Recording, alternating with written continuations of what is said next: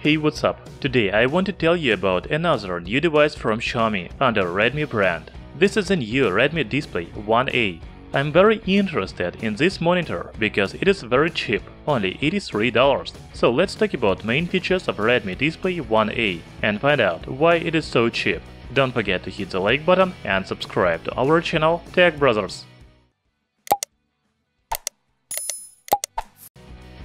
Xiaomi has already released some monitors, but Redmi Display 1A is the first monitor under Redmi brand.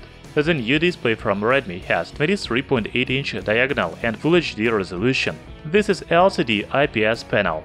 The manufacturer says that the thickness of the monitor in the thinnest place is only 7.3 mm. As you can see, the monitor is almost bezel-less from three sides, except the bottom one. It means that you can buy two or even three monitors and put them next to each other. You will not see the seams between them. This is awesome. On the back there is only HDMI port, VGA port, DC connector and power button. The monitor doesn't offer any USB ports. Okay, now let's talk about specifications. As I already said, the display has a diagonal of 23.8 inches and Full HD resolution.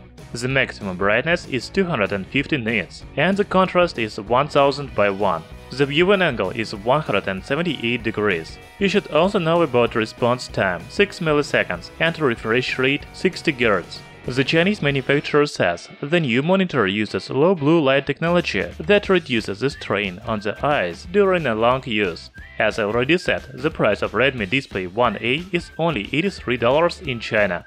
If you decide to buy it on AliExpress, GearBest and other Chinese stores, then most likely it will cost more. Although Redmi Display 1A has entry-level specifications, this is one of the cheapest PC monitors on the market. I like the idea buying two or even three monitors and use them together. The bezel-less display allows you to do this. What do you think about Redmi Display 1A? Write in the comments below. Thank you for watching this video. Hit the like button and subscribe to our channel Tech Brothers.